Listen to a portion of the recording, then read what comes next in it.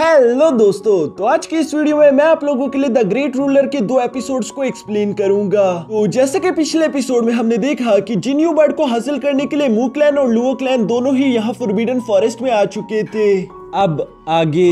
तो next episode के शुरू में हम देखते हैं जहाँ पर ये दोनों जानी दुश्मन एक दूसरे को देखकर काफ़ी ज़्यादा गुस्से में आ गए थे और वो फ़ौरन ही अपनी स्पिरिचुअल पावर्स एक्टिवेट कर लेते हैं। यहाँ इससे पहले कि इन दोनों क्लैंस के बीच जंग शुरू हो पाती तभी अचानक इन लोगों की नज़र वहीं पर स्पिरिट ईटिंग बीस पर पड़ जाती है। जिनकी तादाद ज़्यादा हो जाने की वजह से उनके सामने कोई लेवल सिक्स का स्पिरिट बीस भी नहीं खड़ा हो सकता। ये देखकर वो लोग काफ़ी जरा घबरा चुके थे, जबकि वो स्पिरिट ईटिंग बीस भी यहाँ इन लोगों पर हमला कर देती है। इसलिए मजबूरन इन दोनों क्लैंस को अलग अलग होकर भागना पड़ा। जहाँ रास्ते में लुओ क्लैन के कुछ साथी भी मारे जाते हैं, लेकिन उनके लीडर्स को कोई फ़र्क नहीं पड़ता। दूसरी तरफ़ हम मू क्लैन को देखते हैं, जहाँ वो स्पिरिट ईटिंग बीज मूचन पर हमला करने वाली थी, इसलिए उसका फादर वहीं पर रुककर उन स्पिरिट बीज के साथ फाइट करना शुरू कर देता है। मूचन भी अपने फादर का साथ देना चाहता था, लेकिन ये जगह काफ़ी ज़्यादा खतरनाक थी, इसलिए उसका फादर उसे यहाँ से भागने के लिए कहता है। वो मूचन को बता रहा था की हम लोग पॉइजन स्वाम्प में मिलेंगे, अभी के लिए हमें एक दूसरे से अलग होना होगा, जो सुनकर मूचन बिल्कुल ऐसा ही करता है। और यहाँ अपने अंकल और दोस्तों के साथ आगे की तरफ़ बढ़ते हुए हम देखते हैं कि स्पिरिट ईटिंग बीज ने दोबारा से इन लोगों को घेर लिया था, जहाँ इन्हें लगता है कि अब हमें रुककर फाइट ही करनी होगी। तभी अचानक वहाँ पर एक फ्लूट की आवाज़ बजना शुरू हो गई थी, जिसे सुनते साथ ही वो स्पिरिट ईटिंग बीज उस फ्लूट की तरफ़ रवाना हो जाती है। मुझे ये देखकर काफ़ी जरा हैरान हो गया था, वो अपने मन में सोचता है की शायद कोई इन स्पिरिट ईटिंग बीज को कंट्रोल कर रहा है, मुझे जाकर चेक करना होगा। मुझे के अंकल और उसके दोस्त उसे ऐसा करने से मना करते हैं, लेकिन मुचेन उनकी बात नहीं मानता, वो उनसे कहता है कि मुझ पर यकीन रखो। ये कहने के बाद मुचेन अपने साथियों को लेकर उन स्पिरिट ईटिंग बीस के पीछे रवाना हो जाता है, जबकि लुवो मोबाइल भी यहाँ पर इन लोगों के पीछे आ रहा था। यहाँ थोड़ी देर बाद हम देखते हैं कि मुचेन को उन स्पिरिट ईटिंग बीस का छत्ता मिल चुका था, जिसके नीचे शायद कोई बैठा हुआ है। मुचेन उस इंसान के पास जाकर उसे चेक करना चाहता है, इसलिए वो अपने साथियों के साथ एक प्लान बनाता है की तुम लोगों को कुछ ना कुछ करके इन स्पिरिट ईटिंग बीस को अपने पीछे लगाना होगा, ताकि मुझे थोड़ा सा वक्त मिल सके। उसके साथ ही सुनकर बिल्कुल ऐसा ही करते हैं, जिसकी वजह से हम देखते हैं कि स्पिरिट ईटिंग बीस उन्हीं के पीछे पड़ चुके थे यहाँ मौका मिलने की वजह से मुचेन भी बड़ी तेज़ी के साथ जाकर फ़ौरन उस इंसान के पास पहुँच गया था, जहाँ मुचेन को जानने को मिलता है कि ये तो मर चुका है। पर मरने से पहले उस आदमी ने एक मैसेज लिखकर छोड़ दिया था, जिसमें वो लिखता है कि मेरा नाम है मास्टर स्काई। मैं स्पिरिचुअल इंसाइट क्लैन से बिलोंग करता हूँ। मैं यहाँ इस जंगल में आया था ताकि मैं जिन्यू बर्ड को हासिल कर सकूँ। लेकिन मैं अपनी इस लालच की वजह से घायल हो चुका था और मुझे यहीं पर शायद मरना भी पड़े। मुचिन को ये पढ़कर अपने दोस्त की वही बातें याद आ गई थी, जहाँ उसने मुचेन को बताया था कि स्पिरिचुअल इंसाइट क्लैन के लोगों के पास सीक्रेट टेक्निक्स होती है जिनका इस्तेमाल करके वो इंसेक्ट्स को कंट्रोल कर सकते हैं। यहाँ मुचेन अभी ये सब सोच ही रहा था, तभी अचानक मुचेन को दोबारा उसे स्पिरिचुअल इंसेक्ट फ्लूट की आवाज़ सुनाई देती है, जिसे देखकर मुचेन ने उठा लिया था और अब उसे सारी की सारी कहानी समझ आ चुकी थी कि बेशक ये मास्टर मर गया, लेकिन हवा की वजह से ये फ्लूट खुद ब खुद ही बजना शुरू हो जाती है, जिसकी वजह से स्पिरिट ईटिंग बीज को लगा की शायद ये मास्टर हमें कंट्रोल कर रहा है और वो लोग भी यहीं पर आकर अपना चत्ता बना चुके। वो मोबाइल भी ऊपर से मुचेन को ये सब करता हुआ देख रहा था, जबकि दूसरी मुचेन यहाँ पर उस मास्टर का शुक्रिया अदा करते हुए कहता है कि आपकी ये फ्लूड मैं अपने पास रख रहा हूँ। क्योंकि वैसे भी अब ये फ्लूइड आर्टिफैक्ट आपके किसी काम का नहीं। ये कहने के बाद मुचेन उस फ्लूट को लेकर वहाँ से जाने ही वाला था। तभी अचानक वो मोबाइल उस पर हमला कर देता है। जबकि साथ ही साथ वो भी यहाँ पर मुचेन के सामने आकर कहता है की, चलो भी वो कॉपर पीस मेरे हवाले कर दो, क्यूँकी अब तुम नॉर्थ स्पिरिचुअल अकेडमी की टेरेटरी में नहीं हो। यहाँ पर अगर मैं तुम्हारी जान भी ले लूँ, तब भी मेरा कोई कुछ नहीं बिगाड़ सकता। जो देखकर मुचेन हँसते हुए कहता है की, मैं ब्लड स्लगर से नहीं डरा, फिर तुम्हें क्या लगता है कि मैं तुमसे क्यों डरूँगा? जो सुनकर लुवो मोबाइल कहता है कि क्या तुमने मुझे बेवकूफ़ समझा है? मैं जानता हूँ कि उसे तुमने नहीं, बल्कि लियोपर्ड बीस ने मारा था। मुचेन तो उसकी ये बात सुनकर भी कॉपर पीस उसके हवाले नहीं करने वाला था, इसलिए हम देखते हैं कि लुवो मोबाइल आगे बढ़ते हुए यहाँ मुचेन पर हमला करना शुरू कर देता है, जिसे रोकने के लिए मुचेन ने भी अपनी कुछ पावर्स का इस्तेमाल किया। यहाँ मुचेन से टकराने के बाद लुवो मोबाइल अपने मन में कहता है कि लास्ट टाइम जब मैंने इस लड़की को देखा था तो ये अपने स्पिरिचुअल मूवमेंट के मिडिल स्टेज पर था, लेकिन अब ये अपने लेट स्टेज पर पहुँच चुका है। यानी कि मैं इसे अंडर एस्टिमेट नहीं कर सकता। ये कहते हुए लुवो मोबाइल ने अपनी फैमिली की क्ला टेक्निक को एक्टिवेट कर लिया था, जिसका इस्तेमाल करते वो आगे बढ़कर मुचेन पर हमला करना शुरू कर देता है। मुचेन उसके ये सारे क्ला अटैक्स डोज करने की कोशिश कर रहा था, पर इसके बावजूद भी एक अटैक उससे सीधा जाकर लग जाता है, जिसकी वजह से मुचेन अपने मन में कह रहा था की मैं ज़्यादा टाइम इसके साथ जया नहीं कर सकता। जबकि दूसरी तरफ़ लुवो मोबाइल को तो यहाँ मुचेन के साथ फाइट करके मज़ा आ रहा था, वो अपने फ्लेम ईगल को एक्टिवेट करते हुए मुचेन पर हमला करने की कोशिश करता है, जिसे रोकने के लिए मुचेन ने भी अपने सल्लू वो डेथ मार्क को एक्टिवेट कर लिया जाता इन दोनों पावरफुल अटैक के एक दूसरे से टकराने की वजह से वहाँ पर एक एनर्जी ब्लास्ट हो जाता है, जिसके इफ़ेक्ट से ये दोनों ही पीछे हट चुके थे। मुझे अब तक यहाँ पर समझ चुका था कि मैं अकेले लुवो मोबाइल को नहीं रोक सकता, इसलिए मुझे कुछ और सोचना होगा। जबकि दूसरी तरफ़ हम लुवो मोबाइल को देखते हैं, जो कि मुचिन को देखकर कह रहा था कि कहीं तुम यहाँ से भागने का तो नहीं सोच रहे। जो कहते हुए एक बार फिर से अपने क्ला को एक्टिवेट करते हुए यहाँ मुचिन पर हमला करने के लिए ही बढ़ रहा था। मुचिन उसे अपनी तरफ़ आता हुआ देखकर फ़ौरन उस फ्लूट को बाहर निकाल लेता है, जिसके आवाज़ सुनकर लुवो मोबाइल हैरानगी के साथ मुचिन से कहता है कि आखिर ये तुम क्या कर रहे हो? जिस पर मुचिन कहता है कि अगर मैं यहाँ पर मरने वाला हूँ तो मैं अकेले नहीं मरना चाहता। तुम भी मेरे साथ मरोगे। क्योंकि जल्दी यहाँ पर स्पिरिट ईटिंग बीज आने वाली है। मुचिन का भी ये कहना ही था, तभी अचानक हम देखते हैं कि सच में वहाँ पर स्पिरिट ईटिंग बीज पहुँच चुकी थी।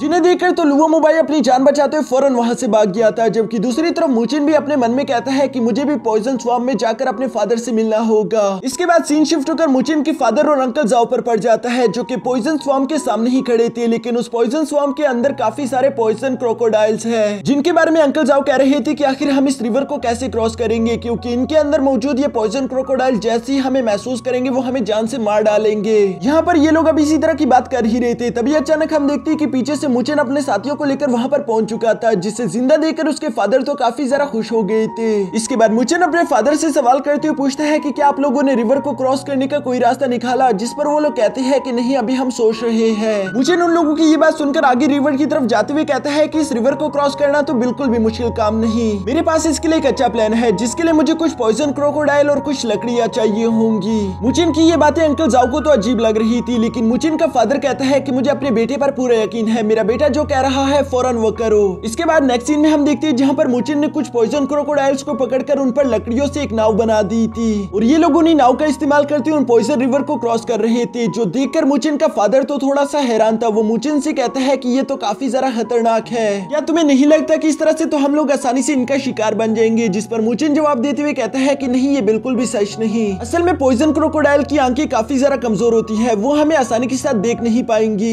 वो सिर्फ़ हमें सूंघ ही महसूस कर सकती है, लेकिन यहाँ हम एक पॉइजन क्रोकोडाइल पर ही खड़े हैं, इसलिए उनका हमें सूंघना भी थोड़ा मुश्किल होगा। अगर मैं सिंपल अल्फाज में कहूँ तो मैं यही कहूँगा की अभी के लिए हम इन पॉइजन क्रोकोडाइल्स के लिए इनविजिबल है। मुझे यहाँ पर जो कुछ भी कह रहा था, बिल्कुल वहाँ पर वैसा ही हो रहा था, जिसकी वजह से उसकी फैमिली को ज़्यादा फ़िक्र नहीं होती और वो लोग यूँ ही आगे की तरफ़ बढ़ते जा रहे थे। पर तभी अचानक हम पीछे से एक पॉइजन स्नेक बीस्ट को देखते हैं, जो कि तेज़ी से इन्हीं लोगों को फॉलो कर रहा था। इस क्रीचर के यहाँ पर होने का किसी को भी मालूम नहीं था। तभी अचानक वो पानी से निकलते हुए इन लोगों पर हमला कर देता है। जिसे देखकर मुचन हैरान होते हुए कहता है कि ये कोई पॉइजन क्रोकोडाइल नहीं है। तभी वो देखता है कि उसके साथी खतरे में थे, जो देखकर मुचन तेज़ी के साथ मूव करते हुए अपने साथियों को बचा लेता है। यहाँ पर मुचन, उसका फादर और अंकल वो तो हवा में फ्लोट कर सकते हैं। लेकिन यहाँ पर मौजूद इनके कुछ ऐसे साथी भी थे जो कि हवा में फ्लोट नहीं कर सकते, इसलिए उन्हें बचाने की कोशिश में मुचन का फादर उस स्नेक से फाइट करना शुरू कर देता है, जिसका उस पॉइजन स्नेक पर कोई जरा असर नहीं हो रहा था। साथ ही साथ वो पॉइजन स्नेक यहाँ पर इन लोगों के साथियों को भी बारी बारी करके जान से मार रहा था। मुचन को यह देखकर बिल्कुल भी अच्छा नहीं लगता, इसलिए वो उस पॉइजन स्नेक को पानी से बाहर लाने के लिए खुद को चारे की तरह यूज़ करता है, जिसे खाने के लिए जैसे ही वो पॉइजन स्नेक बाहर आया था, तभी अचानक मुचन अपनी सोल कैप्चरिंग फॉर्मेशन टेक्निक का इस्तेमाल करके उसे बाहर ही जकड़ लेता है, जबकि ये मौका उसके फादर के लिए काफ़ी अच्छा था। वो यहाँ पर भारी मात्रा में अपनी एनर्जी इकट्ठा करते हुए एक बहुत बड़े ब्लास्ट के साथ उस स्नेक पर हमला कर देते हैं। जिसकी वजह से इन लोगों को लग रहा था कि शायद इन लोगों ने पॉइजनस स्नेक को जान से मार दिया, पर ऐसा बिल्कुल भी नहीं था। वो तेज़ी के साथ पानी से निकलते हुए यहाँ मुचन को पकड़ लेता है। जहाँ साथ ही साथ वो डरते हुए उसकी फैमिली को वार्निंग दे रहा था की वो आगे ना बढ़े, नहीं तो वो मुचन को जान से मार देगा। मुचन यहाँ पर बुरी तरीके से फंस चुका था। वो अपने मन में कहता है की अगर सब कुछ ऐसे ही चलता रहा तो मेरी सारी की सारी हड्डियाँ टूट जाएँगी। मुझे जल्दी कुछ करना होगा। ये कहते साथ ही मुचन अपने पास दोबारा से उसी इंसेक्ट फ्लूट आर्टिफैक्ट को बाहर निकाल लेता है, जिसको बजाने की वजह से हम देखते हैं कि वहाँ पर दोबारा से स्पिरिट ईटिंग बीज आ चुकी थी, जो कि आते साथ ही यहाँ पॉइजनस स्नेक पर हमला कर देती है। मुचन और उसकी फैमिली ये मौका पाकर फ़ौरन वहाँ से खुद को बचाकर निकल गए थे, जबकि दूसरी तरफ़ वो पॉइजनस स्नेक यहाँ पर मारा जाता है। मुचन और उसकी फैमिली यहाँ पर ऑलरेडी काफ़ी ज़्यादा वक्त जाया कर चुके थे, इसलिए उनका फादर कहते हैं कि चलो, हमें माउंटेन की तरफ़ जल्द से जल्द बढ़ना होगा। दूसरी तरफ़ माउंटेन पर हम देखते हैं कि पहले ही लूप लाइन वहाँ पर पहुँच चुका था, जो कि जिन्यू बर्ड की तलाश कर रहा है। क्योंकि उन लोगों के पास मोचन का वो कॉपर आर्टिफैक्ट नहीं है, इसलिए वो लोग एग्जैक्ट लोकेशन के बारे में नहीं जानते। इसलिए लुवो क्लैन के काफ़ी देर तक तलाश करने के बाद भी उन लोगों को कुछ हासिल नहीं होता। थोड़ी देर बाद वहाँ पर मू क्लैन भी पहुँच चुका था, जिन्हें देखकर लुवो क्लैन का लीडर आगे बढ़कर कहता है कि मुफेंग तुम तो काफ़ी ज़्यादा स्लो हो। मुफेंग उसकी ये बात सुनकर उसे ताना मारते हुए कहता है की, तुम लोग यहाँ पर हमसे पहले पहुँच गए, फिर भी तुम लोग कुछ नहीं उखाड़ पाए। तो चलो, अब हम लोगों के रास्ते से हट जाओ, लेकिन लुवो क्लैन इतनी आसानी के साथ कहा मानने वाला था? इसलिए हम देखते हैं कि यहाँ पर ये सब लोग भी फाइट के लिए खुद को तैयार कर लेते हैं। जहाँ लुओ क्लैन के लीडर ने गुस्से में आकर अपने थंडर स्पिरिचुअल बीस्ट को बाहर निकाल लिया था। मुफेंग भी ये देखकर अपने ड्रैगन फ्लेम ईगल को बाहर निकाल लेता है। जिसके साथ ही इन दोनों लीडर्स ने आपस में तकड़ाना शुरू कर दिया था। यहाँ पर बाकी के क्लैन मेंबर्स भी एक दूसरे के साथ फाइट शुरू कर देते हैं। मुचिन भी अपनी फैमिली का साथ देते हुए अपने सन वो डेथ मार्क का इस्तेमाल करते हुए लो क्लैन से फाइट कर रहा था। तभी अचानक उसका कॉपर आर्टिफैक्ट चमकना शुरू कर देता है, जो कि धीरे धीरे पहले से गर्म भी होता जा रहा था। मुचन समझ चुका था कि ये मुझे जिन्यू बर्ड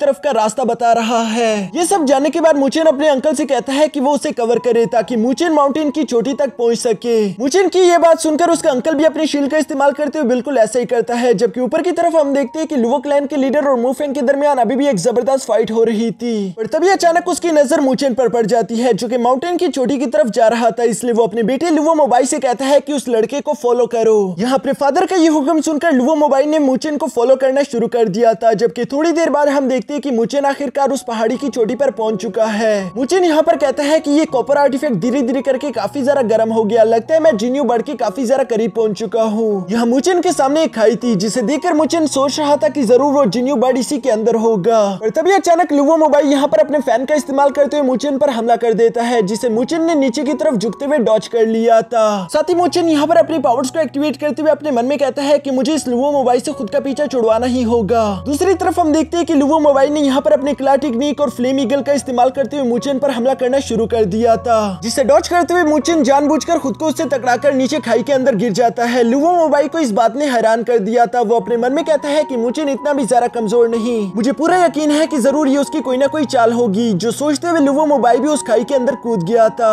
दूसरी तरफ़ खाई के अंदर हम मुचन को देखते हैं, जो कि उस कॉपर आर्टिफैक्ट का इस्तेमाल करते हुए जिन्यू बर्ड की तलाश कर रहा था और धीरे धीरे वो उसके बहुत ही पास पहुँच जाता है। यह एक लोकेशन पर पहुँचने के बाद मुचन समझ गया था कि ज़रूर जिन्यू बर्ड इसी के अंदर होगा, पर जैसे ही मुचन उसे चुनने की कोशिश करता है, उसकी एनर्जी उस रॉक के अंदर एब्जॉर्ब हो रही थी, जो देखकर मुचन हैरान होते फ़ौरन पीछे आ गया था। तभी थोड़ी देर में हम देखते हैं कि लुवो मोबाइल भी यहाँ पर पहुँच जाता है, जो की मुचन से कह रहा था की तुमने मेरे लिए जिन्यू बर्ड को ढूंढ लिया मुझे तुम्हारी कोई ज़रूरत नहीं, इसलिए तुम्हें मरना होगा। और ये कहते साथ ही लुवो मोबाइल आगे बढ़कर मुचन पर हमला करना शुरू कर देता है, जिसे रोकने की मुचन भी अपनी पूरी कोशिश कर रहा था, लेकिन मुचन जानता था की मैं इसका अकेले तो मुकाबला नहीं कर पा रहा। मुझे जल्द से जल्द कोई अच्छा सा प्लान सोचना होगा? ये बात कहते साथ ही हम देखते हैं कि मुचन ने उन चट्टानों की तरफ़ भागना शुरू कर दिया था, जो देखकर लुवो मोबाइल को लगता है कि शायद मुचन यहाँ से खुद को बचाना चाहता है। इसीलिए वो गुस्से में आकर यहाँ पर अपनी क्ला टेक्निक का इस्तेमाल करते हुए फ़ौरन जम करके मुचन पर हमला कर देता है, जिसे लास्ट मोमेंट पर मुचन ने डॉच कर लिया था और उसका क्ला तेज़ी के साथ जाकर सीधा उस चट्टान में घुस जाता है। वो चट्टान यहाँ पर बहुत ही तेज़ी के साथ लुवो मोबाइल की एनर्जी को एब्जॉर्ब कर रही थी, जो देखकर तो वो हैरान हो गया था कि आखिर ये हो क्या रहा है? जबकि पीछे की तरफ़ से मुचन उसे आवाज़ देते हुए कहता है कि ये जिन्यू बर्ड है जो कि तुम्हारी एनर्जी को एब्सॉर्ब कर रहा है। लुवो मोबाइल ने मुचन की ये बात सुनकर अपने दूसरे पाम का इस्तेमाल करते हुए खुद को तो आज़ाद करा लिया था, लेकिन तभी अचानक हम देखते हैं कि उस चट्टानों में क्रैक आना शुरू हो जाते हैं, जिसके ब्लास्ट के साथ ही उसके अंदर से एक अंडा समन हो चुका था। इस अंडे को देखकर यहाँ पर लुवो मोबाइल और मुचन दोनों ही काफ़ी जरा हैरान लग रहे थे, जिसके साथ ही हमारा ये एपिसोड यहीं पर खत्म हो जाता है।